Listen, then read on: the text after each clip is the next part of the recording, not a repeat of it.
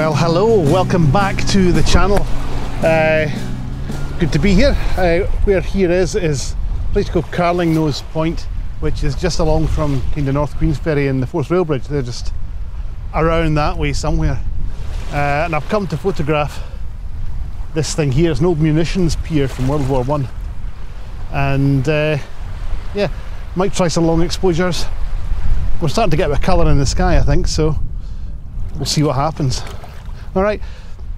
Admin, as always, um, if you could, if you enjoy this content, if you would uh, please like, please subscribe, hit the little bell icon down the corner, and please leave some comments. I'd really like to hear from you.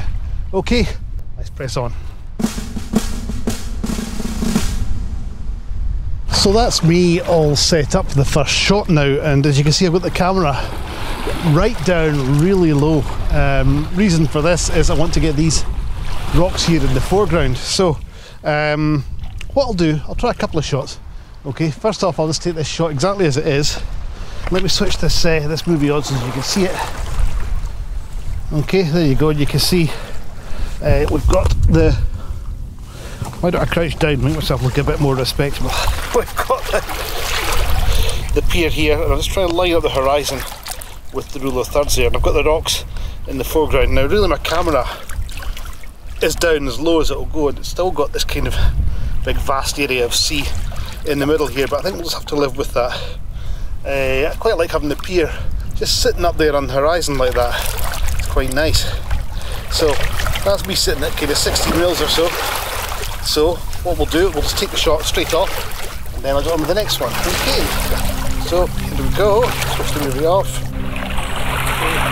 Focus on the pier grab the shot.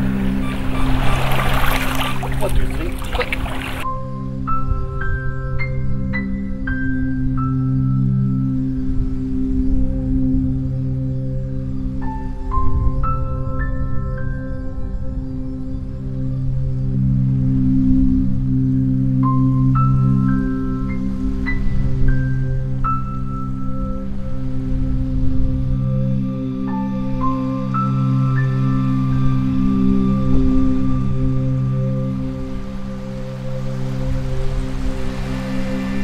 So I'm on the second shot now. And uh, exactly the same composition we had before with the rocks in the foreground here. Um, and the pier just kind of sitting on the horizon. Except what I'm going to do this time is use this thing which is a, a variable ND filter. Now I think the tide is coming in. I thought the tide was reduced I thought it was on its way out but I may be wrong here. It looks like it's getting a bit deeper and the Forth gets deep really quick.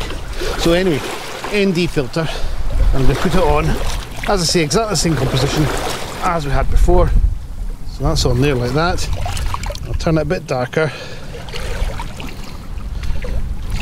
Mm-hmm. No, I won't. In fact, I'll tell you what I'll do first. right, before I do all that, I'm going to focus on the pier and I'm going to switch to manual focus. Okay, now I'm going to put the filter on. Okay. Right, and that has given me a time, an exposure time of about four seconds. So hopefully we should get the water washing over the uh, the rocks in the foreground here. So off we go. Oops. Try and not press the movie button, Douglas. Try and press the take the picture button. There we go. Off we go. One, two, three. Click.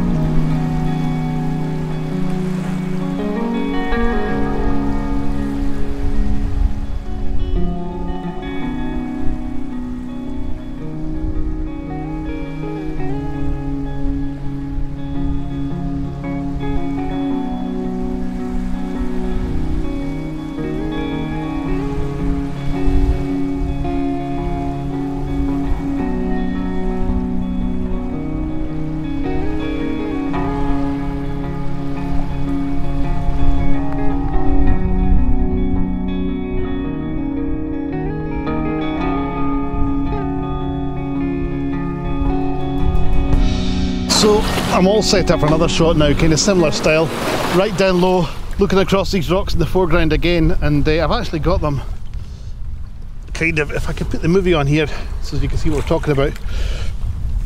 This big rock here kind of taking up the space up in this corner here. Uh, the other rocks are just kind of filling in the foreground here.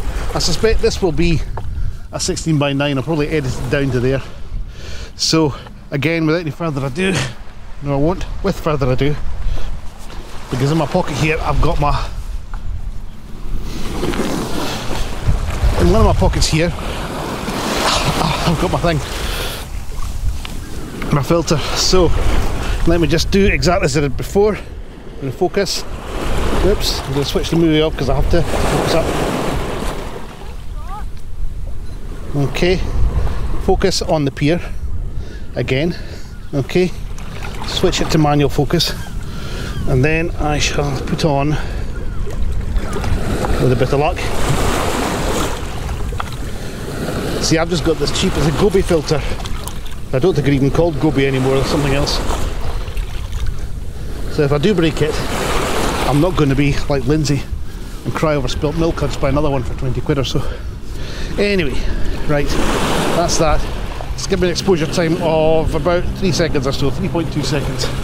I'm at F11 and the waves are coming in so I'm going to grab this shot quickly. There we go. One two three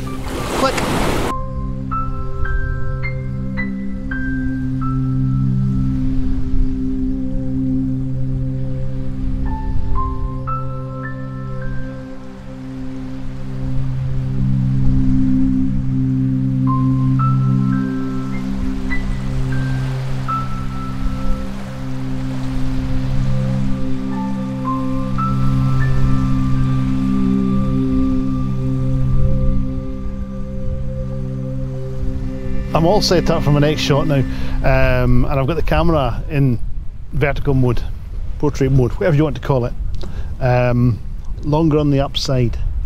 Uh, and I'm going to be getting a picture of the um, of the pier again and I want to leave quite a lot of space in the top. Reason being every year I put together a, a calendar just for friends and family you know? Um, and I was at a family event last weekend and uh, my auntie said to me how come you never put in anywhere I know in Fife so the front cover here is going to be Carlingnose Pier hopefully if I get this shot right. So that'll be the front cover of my calendar for the friends and family. I'm not sure let me know in the comments if I should open it up and actually sell it this year. I can't decide. But uh, yeah let me know what you think. Right anyway here's this. This will be the front cover of my camera. Let me put the movie on and you can see what we're looking at. As I said, we've got all this kind of gap up the top here um, and plenty of rocks down the bottom as well so I'll get like the the name up the top, Dougie Milne Photography and down the bottom we'll have a My Scotland, I think it's what I usually call the camera, something like that. Okay, so there's the pier in the middle as well. So that's what we're looking at. Nice, simple shot. See if I turn that down, will you be able to see the rocks? No you can't. I wondered, maybe not. I'm sitting at F10, okay, uh, I have got on the rule of thirds, I always have the rule of thirds, and I've got the horizon right along the rule of thirds here. I did want to try and raise it a little bit so that we had the more of the sea in the middle, but I don't think that's going to happen somehow. Uh, it might be a bit of a mess anyway. However, we do have plenty of rocks in the foreground, which are still quite nice. So what I'll do, I'm just going to switch that off. I've taken the um, the filter off the front, and I'm just going to go directly for uh, an ordinary shot here. Uh, not a not kind of fine arty long exposure type one. Okay, so that's switched off. Once again, focus on the pier, plenty of rocks in the foreground, and let's just grab the shot. One, two, three,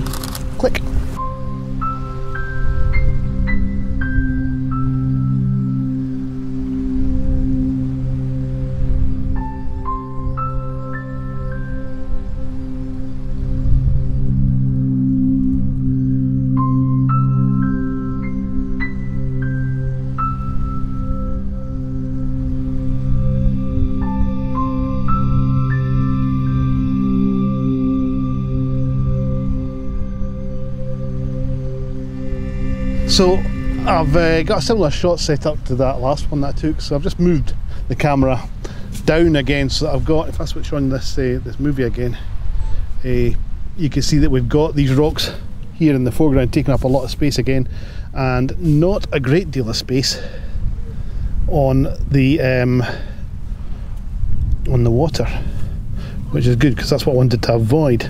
We are starting to get a wee bit of colour in the sky as well which again is quite nice. So again let's just do exactly the same again. Switch the movie off. Focus up. Focus on the pier this time. Come on Douglas you know you can do it. There. That's it. And I'm at oh I have 16 don't want to have 16 put it back down to F11 130 per second. There we go. One two three. Click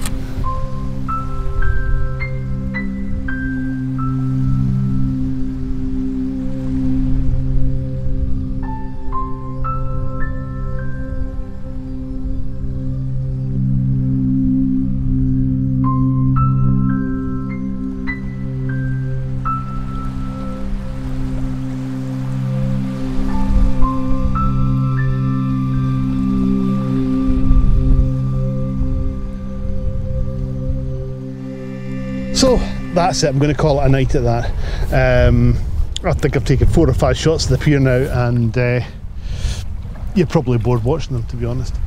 So, uh, oh, before I go on, I should point out that this is vlog number 53. So, uh, the vlog is a year old today, except for that wee bit where I moved from Tuesdays to, uh, to Sundays a few weeks ago. But yeah, year old today. So, thanks for your thanks for watching over the last year. Thanks for your support. If you have enjoyed it, if you're new to the channel, yeah, please do the usual. Please like, please subscribe. Please hit the little bell icon down in the corner. And please, please, I'd love to hear your comments down below.